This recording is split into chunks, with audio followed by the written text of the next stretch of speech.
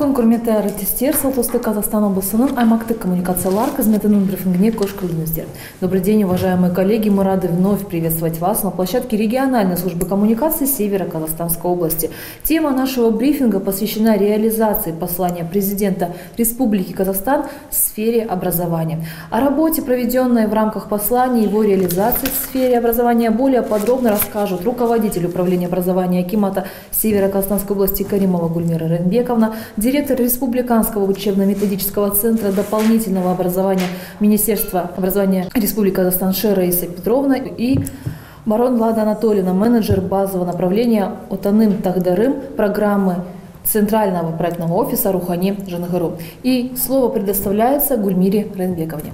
Пожалуйста. сәлеметсіздер ме құрметті бұқаралық ақпараттар құралдарының қызметкерлері бүгінгі күні сіздерменен кездескенімізге өте қуаныштымыз және де бүгінгі біздің қозғайтын тақырыбымыз ол жалпы бірнеше күн бұрын елбасы қазақстан халқына өзінің жолдауын арнаған болатындағы. Жетінші бағытында білім бөліміне білім саласына деген көптеген ол кісінің назары аударылып көңіл бөлінген болатындағы. Осы жалпы жетінші бағытында мектепке дейінгі кезеңнен бастап әрбір сатыға көптеген көңіл аударылған.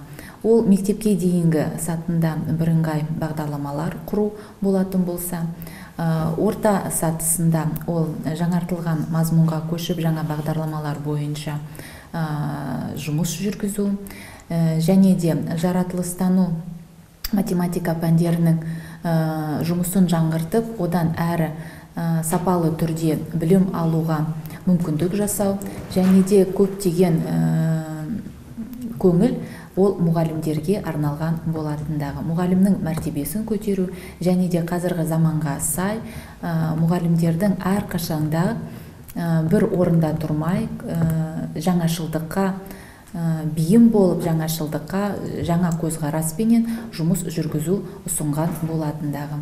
Жалпы сонымен бірге білім саласыны саласын бір озық тәжірибе ретінде көрсету озық концепция ретінде оны қарастырып отыр. Білім саласы ол үлкен сала болғандықтан кейін ол жерде үлкен көңіл биылғы жылдың жолдаудың ерекшелігі ол қосымша білім беруге арналған болатындағы. Қосымша білім беру саласында ол жаңа инновациялық ғылыми әдістемелік бағыттағы жұмыс жүргізетін арнайы оқушыларға арналған сарайлар менен сонымен бірге технопарктерді құру болып табылған болатындағы. Енді осы бағытта бізде жалпы біздің облысымызда үлкен жұмыс алдын ала басталған болатындағы бүгінгі күні жолдауда айтылған мәселелер бойынша және де біздің жұмысымыздың ұштасқанына біздің әрине де бүгінгі күні көңіліміз тойып отыр. Бүгінгі күні түске дейін үлкен республикалық координациялық кеңес өткізілді. Біздің еліміздің әрбір түкпір түкпірінен осы бағытта жұмыс жасайтын адамдар координаторлар және де шекара жаңағы байланыста жұмыс жасайтын адамдар ресейден де осы кеңеске қатысып өз ойларымен пікірлерімен бөліскен болатындағы біз үшін ол үлкен тәжірибе алаңы болып табылады. Өйткені алдымызда үлкен оқушылар сарайын ашу ол күздігүні қыркүйек айына жоспарланып отыр. Осы бағытта қандай жұмыстар жүргізіледі және де бұл бағытта қалай біз ерекшеленуіміз керек алдымызда үлкен бір мақсат ретінде бүгінгі күні ұштасқан жұмыстарменен бірге өзінің нәтижелі болуына біз үлкен септігін тигізді ғой деп ойлаймыз. Бүгінгі өткізілген үлкен кеңес үйлестіру кеңесі болды. Жалпы бұл үйлестіру кеңесіне бүгінгі күні бізде 180-ге жуық адамдар қатысқан болатындағы оқушылар сарайы жалпы ғылыми техникалық бағытта жұмыс жүргізумен бірге IT орталық ашылмақшы оқушылар сарайында. Ол орталықта әртүрлі бағыт бойынша математика физика болсын химия болсын ол бағыттарды біздің осы жерде жұмыс жасайтын зауыттар менен жаңағы индустрия саласында жұмыс жасайтын ә, мекемелер менен қандай байланыста жұмыс жасау керек екенін сол жерде біз ары қаратай оны тәжірибе ретінде оқушыларға таныстыруымыз біздің бүгінгі күнгі мәселеміз болып отыр. Және де бұл бағытта біздің заманға сай заманауи коворкинг орталықтары заманға сай эксплораториумдар және кванториумдар ашылмақшы болып отыр. Әрбір бағытта өздерінің лабораториялары болады және де әрбір лабораторияға бүгінгі таңда үлкен жұмыс жүргізіліп жатыр.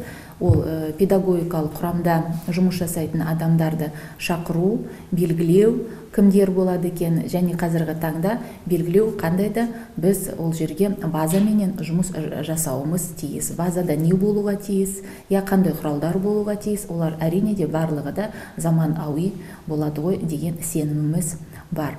Сонымен бірге түстен кейінгі уақытта бізде бес секция бойынша жұмыстар жүргізіледі. Бес секцияда осы жиналған қауым бөлініп әрбіреулері мастер класстарға қатысады. Мастер класстар бес бағытта ол бізде солтүстік қазақстан университетінде өткізіледі. Машина жасау колледжінде өткізіледі. Балалар шығармашылық орталығында жаз дарын орталығында өткізіледі. Мінекей осындай бізде бүгінгі күнгі секциялар. Енді осы секциялардың аяқталуымен біздің осы жердегі өңірдегі жұмыс жасайтын педагогтар өздерінің тәжірибелерімен бөлісіп тағы да соңғы қорытындылар жасалынып келесі жұмысқа ұсыныстар жүргізіледі. Бұл бірінші этапы бірінші кезеңі болып табылады үлкен жұмыстың. Екінші этапы жалпы республика өңірінде бұл жұмыс мамыр маусым айларында өткізіледі ғой деген жоспарымыз бар буквально несколько дней назад мы стали свидетелями большого послания народу Казахстана, который посвятил глава нашего государства. И в седьмом направлении красной нитью проходит именно, уделяется огромное внимание сфере образования. И хотелось бы сказать, что сфера образования в данном послании рассматривается как некая определенная образовательная сеть, имеющая свои определенные этапы. Да? Это и дошкольное образование, в котором мы должны будем уделить огромное внимание единой инфраструктуре, единой, единому стандарту, единой программе. Это в среднем образовании переход на обновленное содержание, а также уделяется огромное внимание на направление именно естественно-математическое направление, также мы видим связь школы между колледжами, огромное внимание уделяется программе бесплатного ТИПО и также, конечно же, о работе высшего образования. Вместе с тем педагогическая общественность нашей области с воодушевлением восприняли именно те моменты, которые были связаны с престижем педагога, и вместе с тем, конечно же, об их роли э, в этой большой, огромной сфере в образовании. Ну, сегодня у нас до обеда проводилось, э, проводился большой координационный совет, э, где были приглашены педагоги именно дополнительного образования, о котором также говорится в послании главы государства. Уделяется огромное внимание дополнительному образованию в части открытия новых технопарков и инкубаторов. Вместе с тем Дворца школьников. Мы, вы прекрасно знаете, уважаемые коллеги, что буквально осенью, в сентябре месяце в нашем городе открывается Дворец школьников, в котором мы уже планируем естественно научное направление – и в этом направлении ведется огромная работа по открытию IT-центра. Кроме того, что, конечно, в дополнительном образовании обязательно будут действовать кружки вокала, художественной гимнастики, танца и так далее. Мы считаем, что на сегодняшний день это актуально и своевременно. Ведется большая предварительная работа и местными исполнительными органами на сегодняшний день по подготовке э, преподавателей, по подбору кадров, по подготовке оборудования, по закупу оборудования, ну и в целом, конечно же, реализации той концепции Дворца школьников для того, чтобы она соответствовала современным нынешним требованиям. Это огромная большая работа. Работа проводится не только с педагогами города, но и привлекается профессорско-преподавательский состав Северо-Казахстанского университета, учителей, преподавателей колледжа. И буквально сегодня до обеда на Координационном республиканском совете а, прибыло очень большое количество педагогов с разных уголков нашей страны, а, которые являются метрами в данной работе. На сегодняшнем совете мы смогли поделиться, они смогли поделиться опытом. В свою очередь, после обеда планируется проведение а, мастер-классов по пяти секциям, где преподаватели нашей области также поделятся своим опытом в данном направлении, именно научно-техническом направлении. Поэтому я думаю, что на сегодняшний день те задачи, которые поставлены главой государства, мы являемся именно исполнителями данных задач, да, они не прикословно именно на сегодняшний день совпадают с теми задачами, которые ставим мы перед собой в сфере образования. Также, конечно, это реализация государственной программы образования на 16-19 год, реализация программы Рухани Жангру и цифровой Казахстан. Хотелось бы поподробнее сказать, что а, в основе а, программы «Цифровой Казахстан» лежит цифра. Цифра на сегодняшний день а, в рамках уже четвертой индустриализации имеет особое значение, если в рамках третьей индустриализации мы с вами были пользователями, научились пользоваться компьютерами, научились пользоваться различными мессенджерами, э, научились э, работать в онлайн-режиме, трансляции проводить в онлайн-режиме, то сейчас уже в условиях четвертой революции именно в плане цифрового Казахстана перед нами ставятся новые задачи. Естественно же, мы, педагоги, в первую очередь должны будем научить этому наших учащихся и должны предугадать Э, те позиции, которые ждут их в будущем. То есть это профессии, э, которые будут в будущем. На сегодняшний день они должны знать это. Э, в колледжах проводится в этом году работа, что с нового учебного года, допустим, мы будем вводить новые специальности, как мехатроника, будет э, вводиться новая специальность, как кибербезопасность, это тоже новшество наше. А в целом, конечно же, э, в стенах Дворца школьников мы хотели бы, чтобы наши дети работали в современных коворкингах, э, в современных кванториумах, в современных лабораториях предметных. Это предметные лаборатории как физики, химии, математики. И они, естественно, должны быть связаны с производством.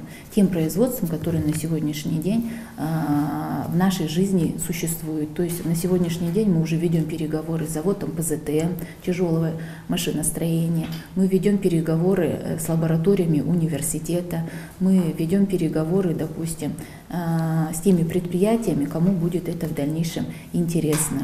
Так как мы аграрная область, свою очередь, да, то, естественно, в этом направлении для того, чтобы дети, не только учащиеся, но и студенты могли приходить во дворец школьников, и это было определенной такой практической площадкой, где они могли бы свои идеи воплощать в жизнь и в дальнейшем, возможно, даже коммерциализировать эти идеи. Я думаю, что данный центр он будет работать не только на учащихся города, это будет работать на учащихся нашей области, будет определенной такой площадкой, где мы сможем приглашать людей из соседних регионов, ну и также приграничных государств. Спасибо большое за выступление. Слово предоставляется Раисе Петровне. Республиканский учебно-методический центр дополнительного образования детей Министерства образования и науки при поддержке Акимата Северо-Казахстанской области и филиала партии «Нуратан» сегодня провел расширенное заседание Координационного совета по научно-техническому творчеству детей и молодежи. Цель данного мероприятия состояла в том, чтобы подвести итоги выполнения плана по развитию концептуальных подходов э, к развитию научно-технического творчества детей и молодежи на 15-18 годы, а также определить основные приоритетные направления – по развитию научно-технического творчества детей и молодежи в рамках задач, обозначенных главой нашего государства в послании народу Казахстана 10 января текущего года «Новые возможности развития в условиях э, четвертой промышленной революции». Как вы знаете, практически в каждом своем послании глава государства обращает внимание на э, креативную молодежь, способную создавать э, в будущем инновационно-индустриальное развитие нашей страны. Сегодня весь мир не стоит на месте, он э, стремительно развивается. И при этом важная роль уделяется развитию IT-технологий, цифровых технологий, робототехники. Поэтому сегодня именно в Казахстане есть прекрасная возможность для развития интеллектуального потенциала нации. А что это означает? А это означает, что перед нашим подрастающим поколением поставлена очень важная ответственная задача, чтобы они выросли в будущем и стали хорошими профессионалами, которые смогли бы нам в будущем создать нормальные, хорошие, качественные условия для жизни. Развитие IT-технологий, э, э, развитие там, э, новых инноваций и так далее, робототехники, как я уже говорила, об этом постоянно говорит наш президент. Форсированная индустриализация промышленности, все это сегодня требует от нас педагогов, от нас, взрослых, подготовки абсолютно новых поколений высококвалифицированных инженерных кадров.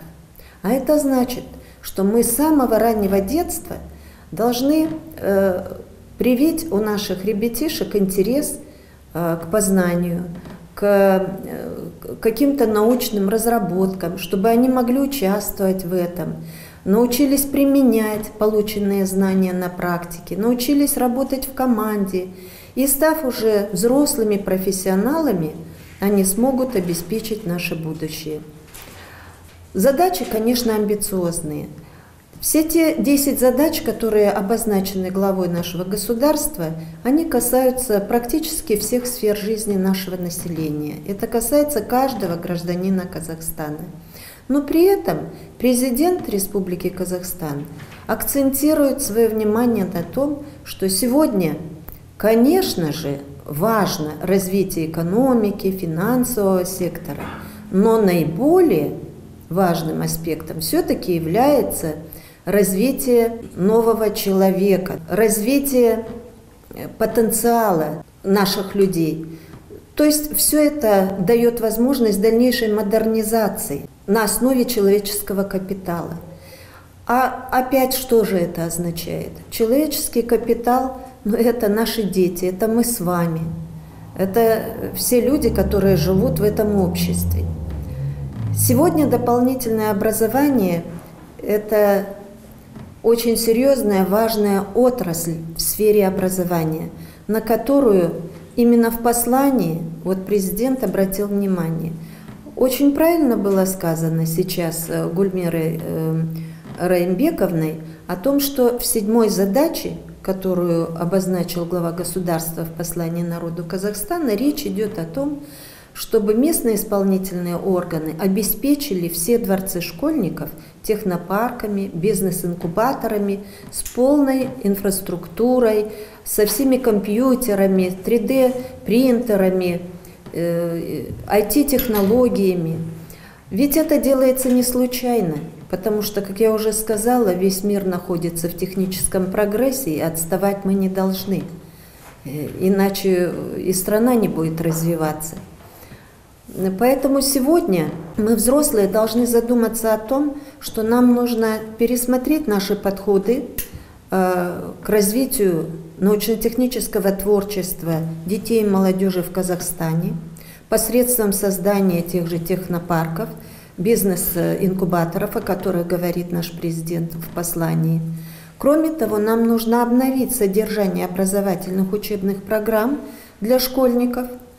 Нам надо подумать о том, как создать мотивацию для наибольшего массового вовлечения школьников э, выбор э, будущей профессии, инженерной профессии.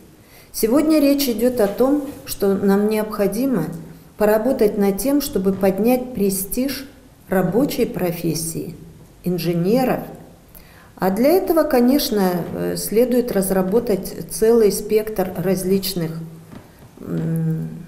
задач, решений, которые сегодня требуются обществом. Я полагаю, что в Казахстане сегодня можно и уже создается достаточно хорошее, такое основательное, образовательное поле деятельности для э, креативно мыслящих людей, для людей нового поколения, профессионально ориентированных. Место проведения выбрано не случайно. Об этом я говорила сегодня на Координационном совете. Поскольку э, Северо-Казахстанская область, а мы это предвидим, она в ближайшем будущем станет одним из главных центров э, развития креативного мышления, развития современного технического творчества.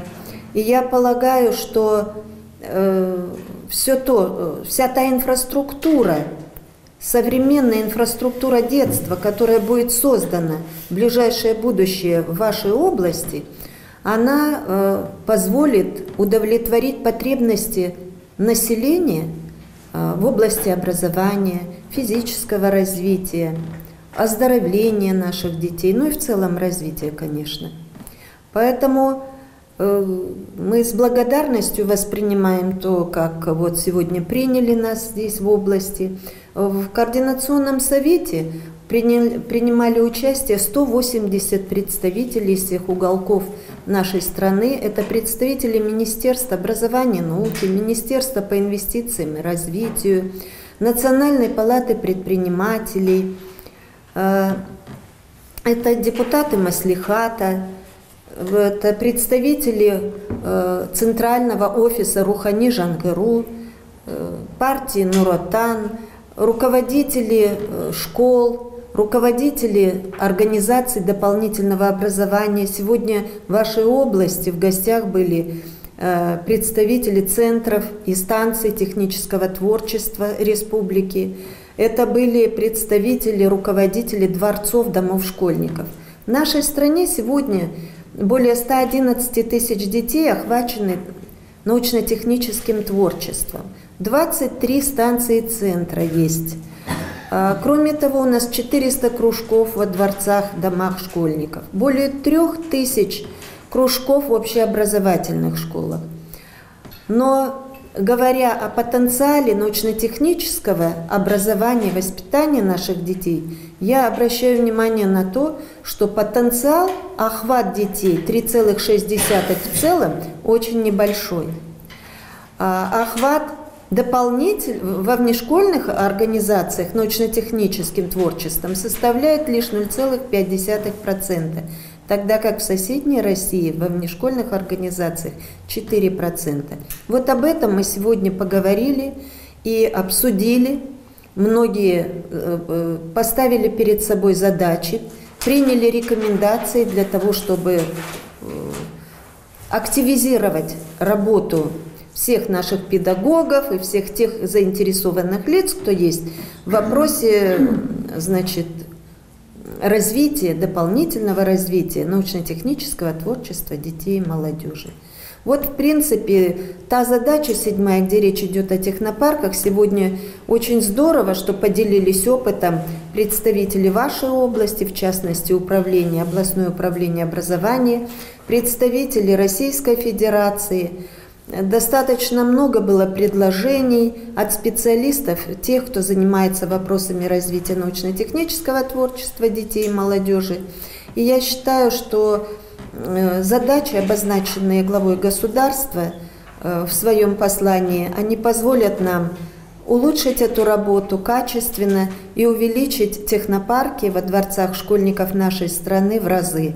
Спасибо большое за выступление. Следующая у нас выступит Лада Анатольевна. Статья главы государства «Взгляд в будущее. Модернизация сознания» заложила глубокую основу для сегодняшней уже объявленной четвертой индустриальной уже революции. Потому что, не изменив сознание каждого, начиная от дошкольника до взрослого, до пенсионера, невозможно строить успешное государство, где мы с вами все хотим жить, не просто жить, а процветать и благоденствовать. Поэтому патриотическое воспитание мне кажется, сегодня наиболее важный аспект подготовки того нового поколения, которое все мы с вами хотим видеть в будущем. Ведь основные, э, основные направления программы Рухани Жангару, обозначенные президентом нашей страны, это конкурентоспособность, культ знания, открытость сознания к мировым достижениям, к инновациям, позволяют нашему воспитаннику, нашему ребенку стать успешным в этой жизни. Мы вкладываем в наших детей лучшие знания, те, которые можем дать сами, и те, которые можем приобрести в процессе поиска. Ведь не секрет, что сейчас процесс образования часто переходит на уже проектный способ деятельности, когда ребенку предоставляется возможность самому найти а, истину, сделать открытие, приобрести компетентности, которые в будущем помогут стать ему успешным конкурентоспособным специалистом. Ведь сегодня мы воспитываем новое поколение, которое в будущем овладеет теми специальностями, возможно, о которых мы сегодня не подозреваем. И поэтому силами дополнительного образования, общего образования строится новая парадигма воспитания и обучения. Министерством образования и науки в этом плане делается очень много.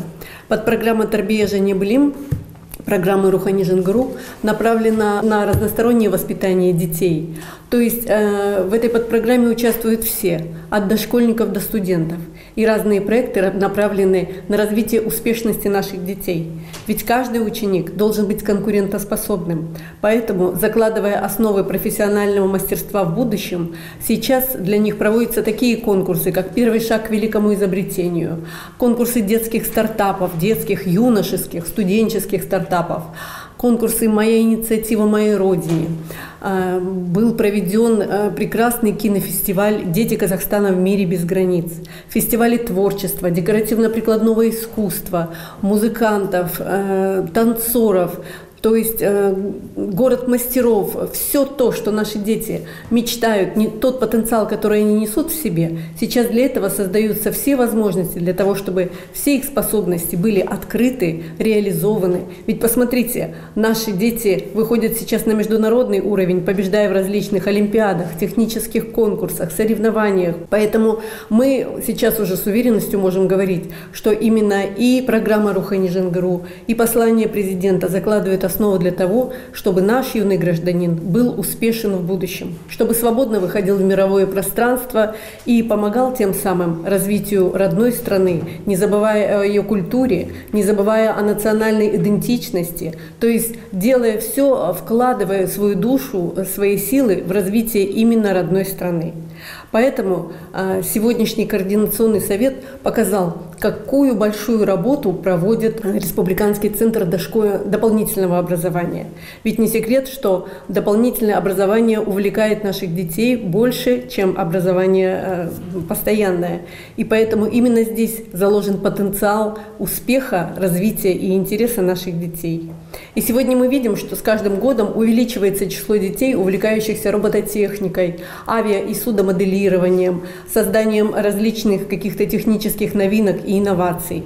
И поддерживая это направление, программа Рухани Жангару стремится к тому, чтобы каждый ребенок в нашей стране чувствовал себя успешным. Каждый ребенок мог достигнуть э, в плане своего развития тех высот, на которые э, он надеется. Потому что мы с вами вместе, не секрет, растим Э, новое поколение казахстанцев, которое в будущем поможет стать успешной нашей стране. Уважаемые гости, уважаемые коллеги, время нашей работы подошло к концу. Мы благодарим вас за активное участие и вас, уважаемые гости, за предоставленную подробную информацию. Всего вам доброго и до скорых встреч.